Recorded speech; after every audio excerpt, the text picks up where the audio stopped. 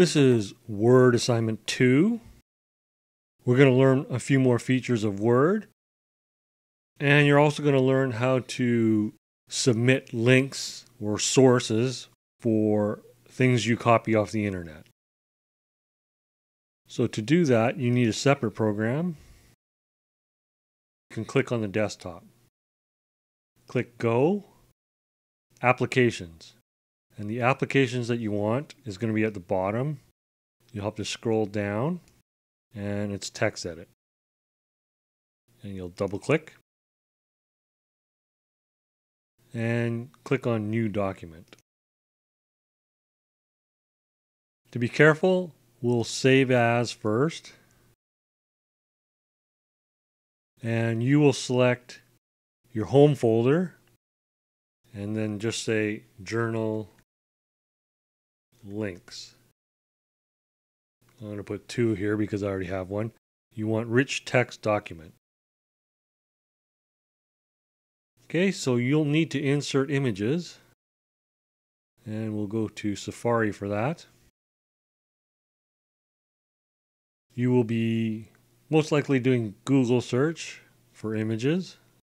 So here I've entered China map and images. You want to pick good resolution images, so not too high and not too low. So anywhere between 600 pixels wide to 1000 pixels wide. You'll click on the image and then you'll get the true size. This is just a thumbnail, so don't copy this image. This is the image you'll want to copy. But before we copy, we want to copy the image address and then go over to TextEdit and we paste that.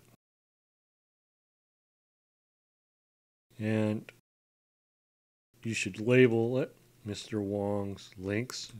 You'll be putting in your name. If I click on this one and copy image address, it won't be right. You can see a big mess there. Okay? So copy the right one and you'll be fine. And you can double check by clicking on this link. See, we have the nice big picture, so that's correct. You'll need to click on it first to get the actual big image. Copy image address or command tab to TextEdit, and paste. This one's clear because it says 800 pixel flag. If I click on the close and click on this one, copy image address, it says 125 pixel flag. That's incorrect, so that's not the one we want.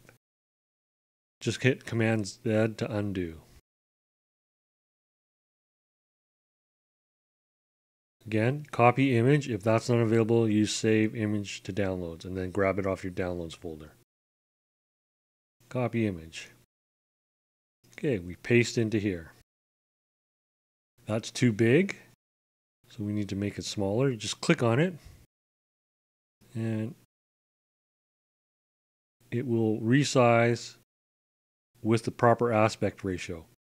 If you resize with this, it's going to make the picture look wrong because it's got the wrong aspect ratio. If you do that, just hit Command Z. Always size it with the corners and it'll preserve the aspect ratio.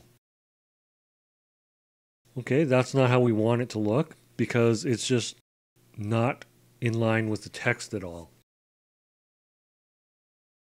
So there's a couple ways to do this. We format picture and we can say square or tight. Now we can move it and then the text will flow around the image. Sometimes this is what we want, and sometimes it's not. If I move it up here, this per- first paragraph is fine.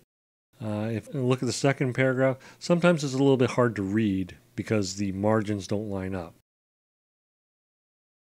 So the other way to format it is to format in front of text.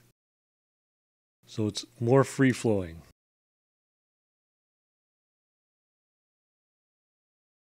It won't stay with the text. It'll be just wherever you put it.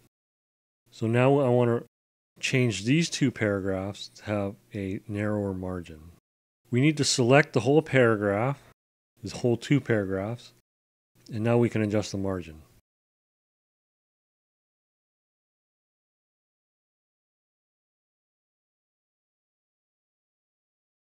And we can move the flag and it'll stay relative to the page. It won't adjust with the text.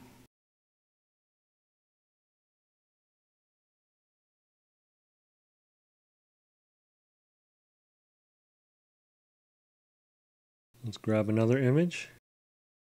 Grab the map, copy image, and paste the image. Again, we want to click on the image so we have the anchors to drag. And your text and image will shift depending on how you size it. And again, let's format the picture. We'll say tight, okay. And you can see we can put the image right in the middle, but it makes the text really hard to read. Generally, you just want to have it on either the left side or the right side.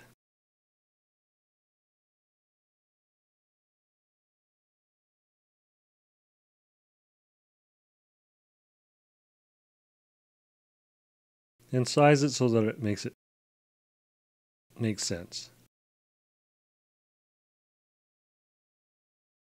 To make things interesting, you don't always want to have the images on the right side or on the left side. Sometimes you just want to mix it up to make it look a little bit more interesting. Okay, so a reminder, you need to do your links to your images or any source that you copy. Any source text that you copy. Last thing you need to do is sometimes the pictures are too big and I don't want my box filled up. So you need to reduce the file size. This is under the File menu, Reduce File Size. And we want to have the smallest available. So 96 pixels per inch. Click OK. And then save your file. Let's take a quick look at the rubric.